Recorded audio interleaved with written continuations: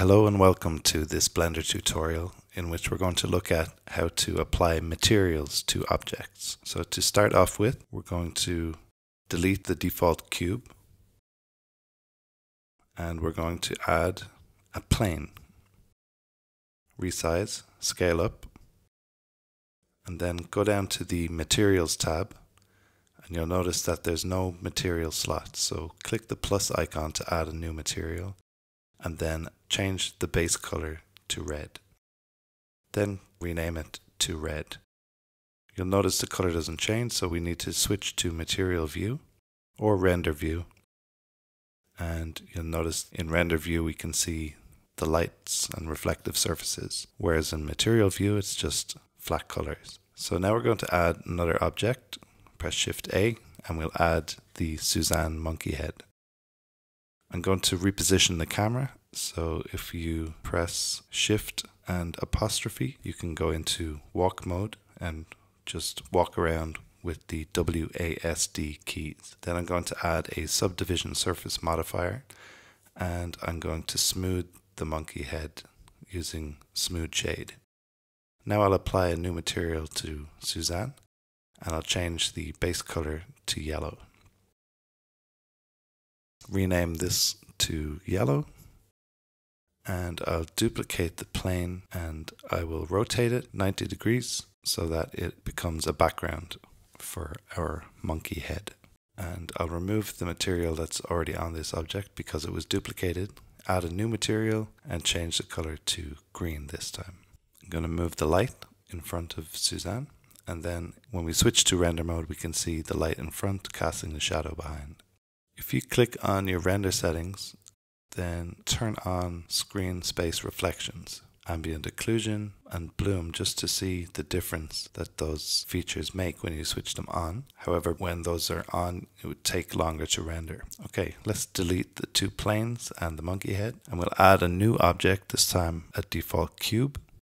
We'll reposition it so it's in the view of the camera press 0 to switch to camera view. Now I'm going to go into edit mode, press tab, right click on the cube to subdivide and increase the number of cuts to 2 so we have the basic 3 by 3 squares on each side of the cube, like a Rubik's Cube. So now we're going to create some new materials in the material slot. And each time I'll just rename it. So we'll start with red, then green. And what we're going to do is apply these to the different faces of the cube.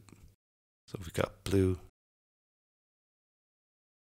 yellow, and you'll notice that red and yellow have a 001 after them, which is because we already created red and yellow earlier for the plane and the monkey head. We'll add a white one and finally an orange.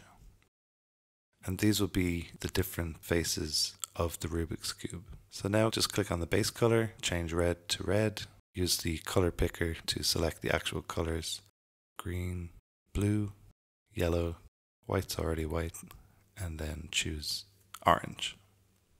Now we go into edit mode again.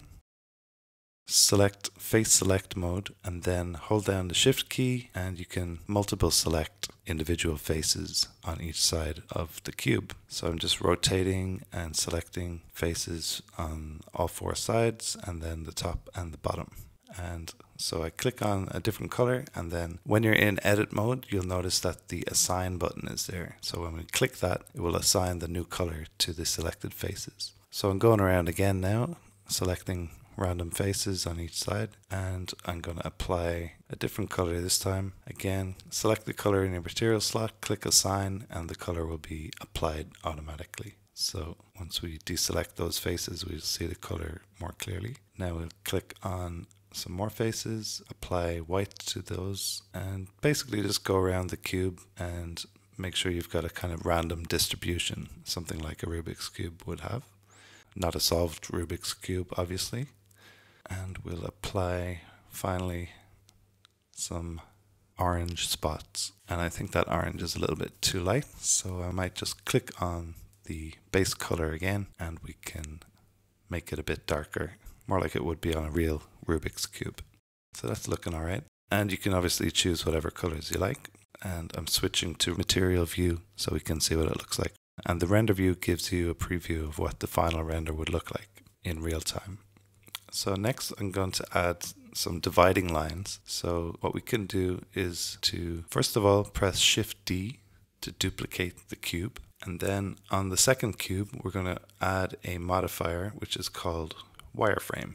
And you'll notice that it creates a wireframe mesh in between the faces on the cube. So I'm going to add a black material color to the wireframe, which sits neatly on top of the original cube and divides the individual faces like it would be on an actual Rubik's Cube. Finally, we're going to animate the cube a little bit. So we need to join the wireframe with the original cube. Make sure you select both objects. Hold down Shift and then left click on the wireframe and the original cube, then press Command J or Control J to join those two together. To animate, just go down to your timeline, make sure your playhead is in frame 1, and then in your 3D view, press the I key and choose Location Rotation or Lock Rot. That means that you can animate the location and the rotation of the cube. So that would be our starting point. Then I'm going to move forward to frame 50 and I will press I again, which means that it will end up in the exact same position that it started. And finally, I'll go to frame 25 and I'll just rotate the cube a little bit randomly so that we get some movement. And you'll notice in the timeline that Blender automatically enters the keyframes where we want them to be. And now we can play back the animation just to preview what it will look like. And we need to change the end frame to 49. The reason being that when it gets to frame 50, it would go back to frame 1. So there's no gap in the animation loop. Now we can go into our output settings, change the output folder to our desktop, and then change the output type to FFmpeg video. You could choose MPEG uh, for the encoding type.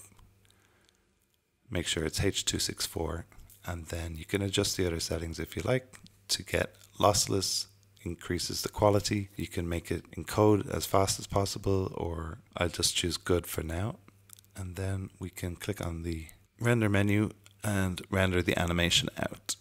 It'll take a few minutes to render because Blender will render each frame individually. We've only got 50 frames, so it won't take too long. Obviously, the faster your graphics card or your GPU, the faster the animation will render. And there we go. So this has been a tutorial to introduce you to materials in Blender and how to apply them to objects and also to individual faces in edit mode.